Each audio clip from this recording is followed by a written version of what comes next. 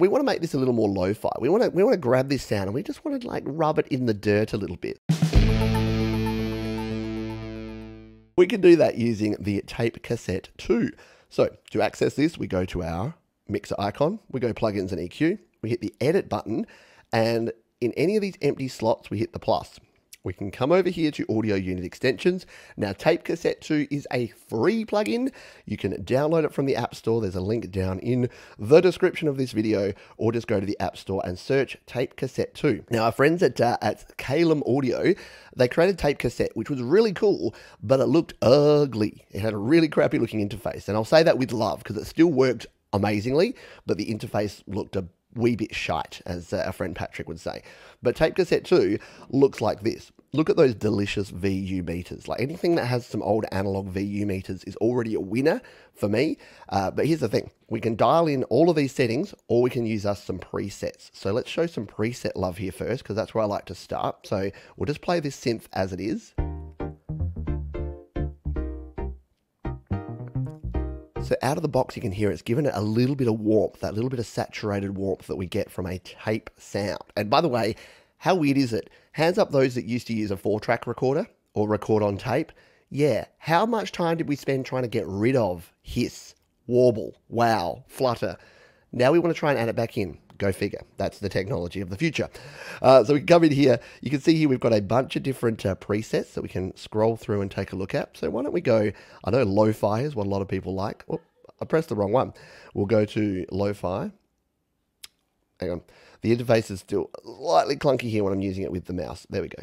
Oh, it scrolled through. Lo-fi. All right.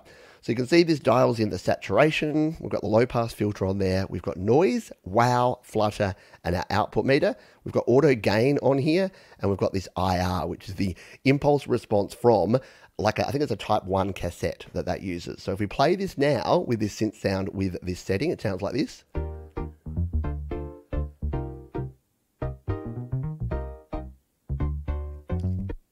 So can you hear that? It's just giving it that slightly different sound. If we turn it off, let's do a bit of A-B comparison. So this is with it off. Turn it on.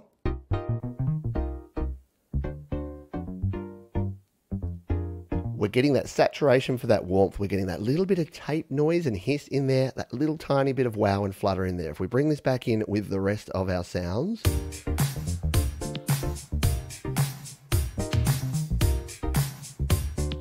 Right? Yeah. And uh, as Tom Rochelle says here, uh, love tape cassette 2 for adding that analog warmth to things. Yeah, that's a really cool thing because uh, let's show you another another use for this. If you didn't want a full lo-fi sound, what we can do, say we come back to this beat here. On, let's just uh, turn that off. You can hear that it adds that kind of hiss sound to to the playback when you've got tape cassette on. We'll turn it back on in a minute. But uh, yeah, if we come back to this one and we add it onto this beat, so we'll do boom and we'll go boom, and then we'll come on down to tape cassette two. And again, free, free plugin. So go download it now because why not? Play around with it. So yeah, if, as Tom Rochelle was saying, even if you didn't want to use anything else, so let's turn off the noise, turn off the wow, turn off the flutter. We don't want any of that. Eh, we could uh, just use the low pass filter on here and use the saturation knob, we can just dial in some warmth. So if we play this back now, actually let's uh, let's solo that one out to make it a little easier. We solo that one out, we come back in here and we hit play. So there it is with no saturation. Take a listen to this.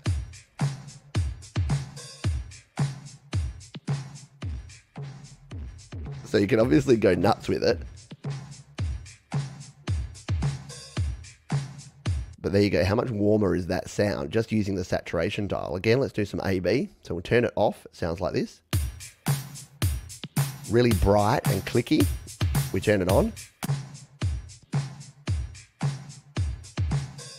Like it really just softens it and dirties it up. Now you may not want that sound. In fact, I don't want that much of that sound, so I'll just dial back the saturation to around about there, and then we'll bring that back. We'll add it back in on our synth, and then we'll bring these back in and hit play.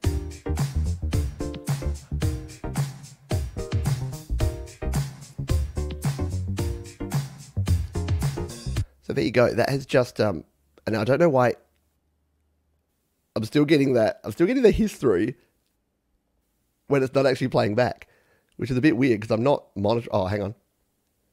No, I'm not. Not even, when I'm not monitoring the sound, it's still there. That's a bit weird. That's unexpected. But anyway. uh, so yeah, there you go. That's the tape cassette 2 plug in from uh, Caelum. Very very cool. Definitely worth checking out. And you can add it as us as you saw there as an AUV3 audio unit plug in to any of your tracks and get yourself some saturation. Oh, you know what I didn't show you? I better show you the actual wow and flutter because this is kind of cool. So if we come back in here, uh, if we just uh, turn this down, turn the noise down because we don't want too much of that noise. So if you're not familiar with what wow and flutter are, we'll just solo this one here turn it on, come back in. So your wow and flutter is, your wow sound is this sort of sound.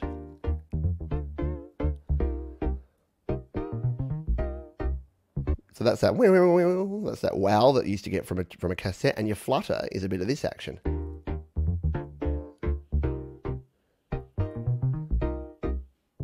So again, that's that's using them to an extreme level. But if we just want a little bit of both of those, you can actually get yourself uh, an interesting tone and uh, sound dialed in. So.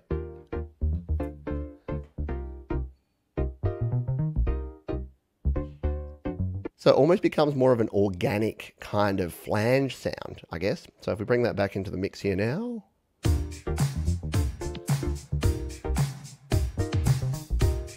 Yeah, cool stuff, yeah. All right, let's come out of that one. And uh, that is that is going to be the tape cassette 2. So that's our plug-in of the week this week